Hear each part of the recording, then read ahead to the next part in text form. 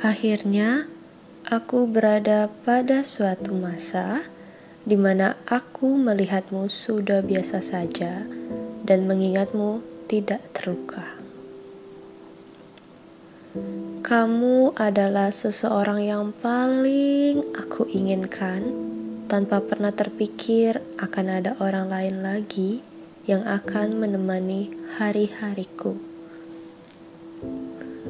Jujur, Kau satu-satunya orang yang mampu membuatku patah dengan sepatah-patahnya karena aku merasa bahwa kaulah masa depanku dan kaulah yang akan bersamaiku selamanya. Hal yang paling membahagiakan adalah ketika aku telah sampai pada masa di mana aku sudah merasa biasa saja meski mengingatmu. Awalnya memang menyakitkan, bahkan hingga menangis berhari-hari, bahkan membutuhkan waktu berbulan-bulan untuk sadar bahwa kau bukanlah seseorang yang tercipta untukku.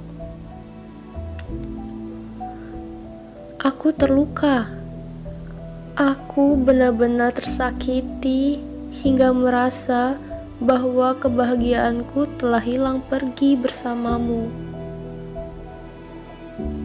Aku sudah biasa tanpa meneteskan air mata ketika mengenang kenangan kita. Butuh waktu yang tidak sedikit untuk membuat hati ini baik-baik saja tahun pertama dan kedua masih merasakan sakit yang luar biasa. Mungkin karena aku merasa dikhianati, sebab setelah denganku, kau sudah bersama dengan yang lain. Begitu mudahnya kau mencintai di saat aku terluka karena mencintaimu. Aku sudah tidak terluka ketika mengingatmu. Sebagai seseorang yang aku cinta, sekaligus sebagai orang yang paling membuatku terluka. Kini aku sudah sampai pada fase di mana aku merasa baik-baik saja meski mengingat segala tentangmu. Segala tentang yang membahagiakan dan menyakitkan. Kini aku sudah sadar bahwa inilah jalan terbaik dari Tuhan.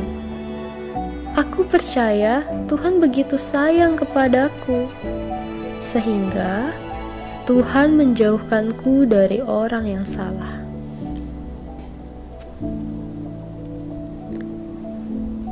Melupakanmu tidak bisa, cukup ketika mengingatmu merasa biasa maka aku telah sembuh dari luka.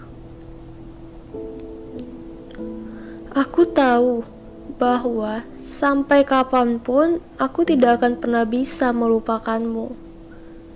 Aku tahu bahwa sampai kapan pun kenangan denganmu akan tetap melekat di hati dan pikiranku.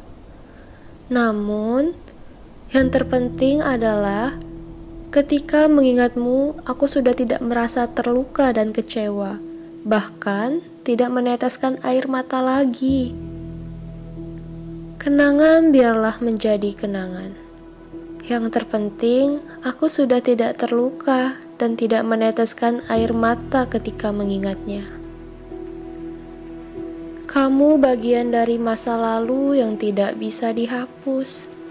Namun, bukan berarti selamanya aku akan tetap berada pada masa itu. Aku sudah bangkit dan sadar bahwa masa depanku lebih membahagiakan daripada meratapi masa lalu yang menyakitkan. Selamat tinggal luka dan air mata. Kini aku sudah baik-baik saja.